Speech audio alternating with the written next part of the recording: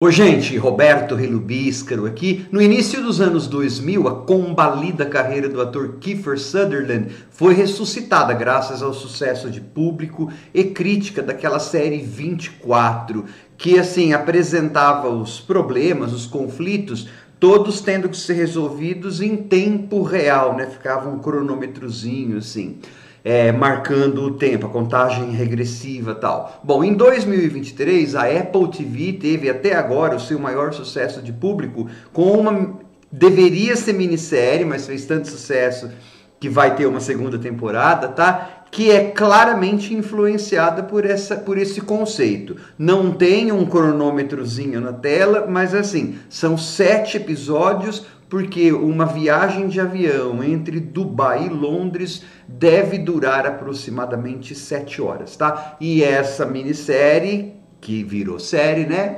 É estrelada pelo carismático Idris Elba. Ele segura aquilo. O Idris Elba, o personagem dele é o Sam Nelson. Tá vendo? Até decorei de tão carismático que é. Ele consegue só com o poder da lógica, da persuasão, porque ele é um negociante, ele é um cara que ajuda lá em, em, litígios corporativos. Só com a lábia dele ele consegue conter é, sequestradores e ele consegue conter passageiros em pânico, tá? A gente que trabalha com público, né? Eu, no meu caso ser humano, é, alunos, a gente sabe que nem alunos muito assim, é, conversando, a gente consegue conter com a lábia. Mas enfim, a gente tem que dar suspensão de descrença e mergulhar, ou sei lá, decolar com esse show. Só que antes de falar um bocadinho mais, eu gostaria de convidá-los a se inscreverem no canal Bertando, curtir os vídeos, compartilhá-los, agradeço bastante. Se não me engano, em português ganhou o título Sequestro no Ar, mas é assim, ó. O personagem, o Sam Nelson, ele chega para entrar no voo lá de que vai sair de Dubai para Londres totalmente cool. Eu quero ser Idris Elba quando eu crescer, né? Na próxima encarnação. Tem que trabalhar bastante a questão de pigmentação. Mas assim, ele chega, ele tá, ele tava em Dubai, vai para Londres, ele não tem nenhuma é, bagagem, ele não tem nada, ele só tá com o casacão dele aberto, ele só tá com um presente para ex-esposa que ele quer reconquistar e é, a gente percebe que é, uma, é um presente de luxo, só aquilo que ele tem, o passaporte e o cartão de embarque, tá? Tanto é que aí ele consegue, para gente, para o roteiro mostrando para gente que ele é bom de lábia, né? É, a moça lá que fica no controle de embarque, portão de embarque, não ia deixar passar um outro cara que chegou mais atrasado ainda que o Sam. O Sam só faz assim, que diferença faz? Dá um sorriso, faz assim com os ombros e a moça, a comissária, a moça lá do portão, ela, a fiscal deixa o outro cara passar. A gente fala, uau, essa personagem é cool, ele é o Idris Elba. Beleza, bom, dentro daquele avião, é, em no final do primeiro episódio, ou antes até, a gente descobre que existem sequestradores. E então o que, que vai acontecer? Bom, vão acontecer um monte de viradas, porque vai ter toda essa questão do Idris Elba tentando conter os sequestradores, às vezes ficando ao lado deles, é, mas secretamente não ficando ao lado deles. Tem algumas coisas legais na minissérie, né? ela é bem divertida, gente. Eu não vou falar mal de jeito nenhum. Negócio de suspensão de descrença, beleza, tranquilo. É uma série para se divertir. E ela sabe o que ela é. Ela não pretende ser mais inteligente do que ela é. Ela é cheia de furo de roteiro, ela é cheia de coisas, de personagens que tomam decisões bobas tal. E é aquele tipo assim, é, de coisas legais, por exemplo, é uma espécie de duro de matar dentro de um avião. Só que ao invés de usar força bruta, o nosso Sam Nelson usa os seus poderes de é, comunicação, tá? É claro, isso é quase tão inviável quanto a força bruta, né? Quase, é talvez mais mentiroso ainda, mas ok, a gente acredita nisso. E aí você vai tendo outra coisa legal também, a motivação do sequestro, que é absurda, mas foge um pouco do estereótipo dos. Porque vem de, de, de Dubai, muitas pessoas, ah, é um sequestrador. Não, não tem nada a ver com terrorismo tal. Tem o pessoal de, do, da Terra lá em Londres, e aí é que mora um perigozinho da série, né? Porque dentro do avião até que consegue manter um certo suspense por um bom período de tempo.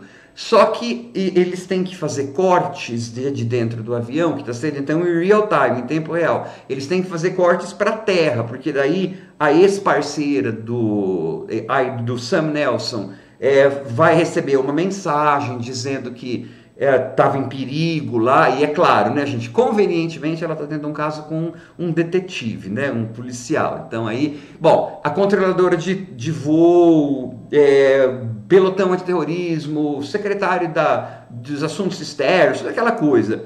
Quando dá essa cortada, né, que passa do avião para a terra, é, a tensão consideravelmente cai e aí você fica às vezes querendo que não sejam sete episódios e que sejam, sei lá, cinco. Mas, ok, tem que ter esse, essa intermediação, né? E aí, claro, você vai ter reviravoltas, você vai ter passageiros que vão querer bolar planos e na hora H vão ficar com medo, e você vai ter, por exemplo, controladora de bordo, que parece que é de voo, que tráfego aéreo, que não consegue cuidar nem do filho, mas que parece que intuitivamente percebe algo está errado, né? Toda aquela coisa. É para você sentar e divertir.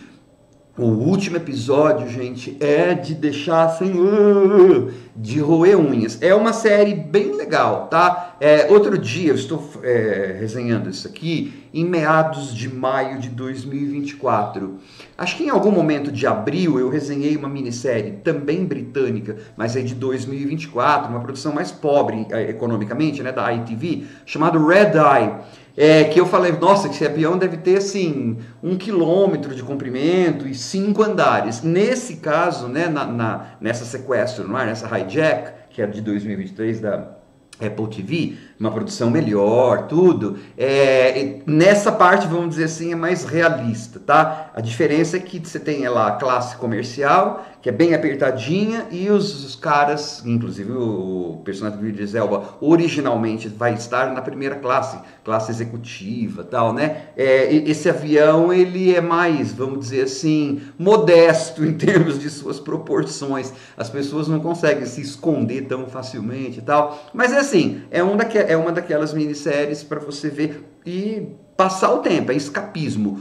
Por isto que, originalmente planejada para ser minissérie, fez um sucesso que a Apple TV não está acostumada, porque ela não tem tantos assinantes assim como a Netflix, como outros serviços de streaming, no caso da Inglaterra, né, ITV, BritBox, aquela coisa toda.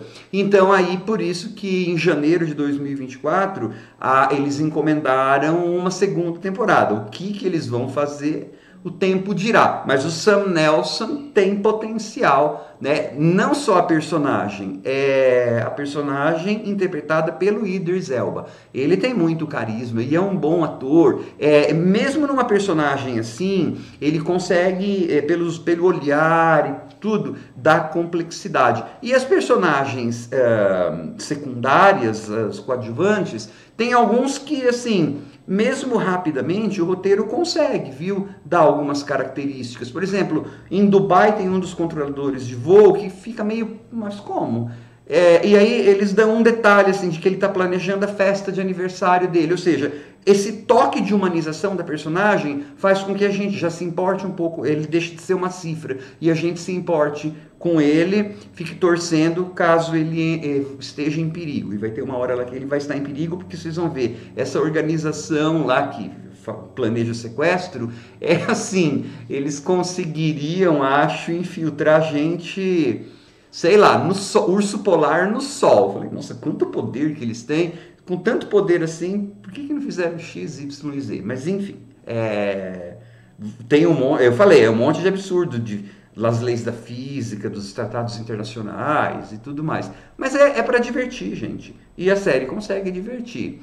Particularmente, eu achei Red Eye mais, mais divertido ainda porque é mais pobrinha, mais louca. Mas e tem o Richard Armitage que também é um grande ator, tal, tá? Mas essa aí é bem legal também, tá? É, é, eu, eu preferi o Red Eye porque não tinha muito, achei que foi conseguia. É, é, mais maluca, né? Um pouquinho mais trash, eu gosto mais. É, é questão de gosto só. Agora, em termos de. Questão de gosto, gente, porque em termos de carpintaria dramática, produção, tudo, essa de. Essa hijack é bem melhor, tá? Em termos de você perceber qual roteiro que. que... Porque esse aí, é, é ele tem algumas coisas, um monte de coisas que são só para diversão, né, que são marmelada, como dizia antigamente, mas como eu falei, você tem alguns, alguns laivos de originalidade, alguma personagem que recebe um toque que a individualiza,